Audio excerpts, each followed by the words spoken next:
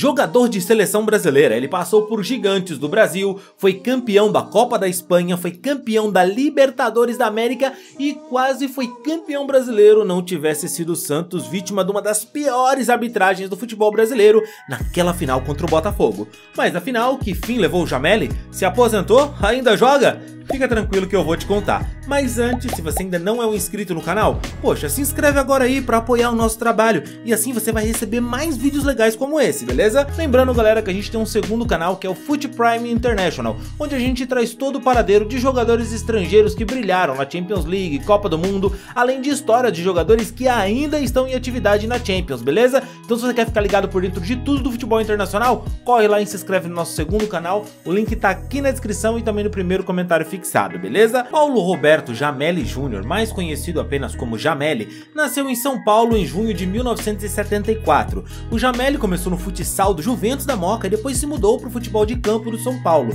Depois de um belo hat-trick numa final contra o Corinthians da Copa São Paulo Juniores em 1993, o meio atacante que tinha apenas 19 anos ganhou projeção nacional e precisou aprender a lidar com os holofotes da bola. No ano de 94, o São Paulo cedeu o Dinho, Gilberto, Macedo e o Jameli para o Santos em troca do meia Axel. O Jameli acabou virando um dos destaques do Peixão no período que defendeu a equipe e depois de passar pelo Santos entre anos de 95 e 96, passagem essa, claro, que lhe rendeu um vice-campeonato brasileiro, o Jameli seguiu então para o Japão e depois foi parar na Espanha, onde defendeu o Zaragoza e foi campeão da Copa da Espanha e lá na Espanha ele ficou por mais de 5 anos. Em 96 ele teve inclusive uma passagem pela seleção brasileira e na sua história ele tem 3 golzinhos com a seleção com a camisa amarelinha, né? Jogou ainda no Corinthians em 2003, depois foi pro Shimizu do Japão, de lá voltou para a Espanha, jogou pelo Almeria e em 2006 ele voltou ao Brasil, jogou ainda pelo Atlético Mineiro e em 2007 pelo Grêmio Barueri, onde ele encerrou a carreira nos primeiros meses de 2007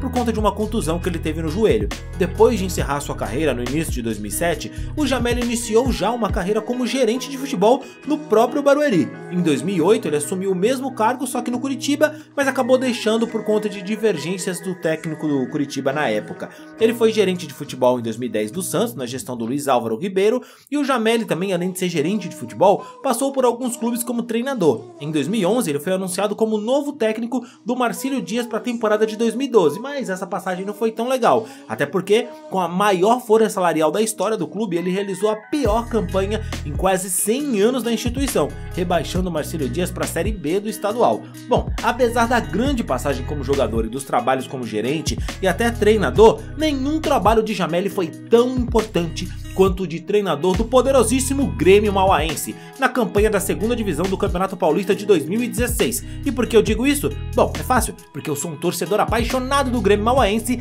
e paixão não se mede. Avante locomotiva! Bom, voltando ao Jameli, deixando minha paixão de lado, ele ainda curtiu outras aventuras depois da bola. Foi candidato a deputado estadual, mas acabou não se elegendo, comentarista esportivo na Rádio Bandeirantes e até kicker, aquele cara que só entra para chutar a bola no futebol americano. Pois é, ele foi kicker no time de futebol americano do Santos, o Santos Tsunami.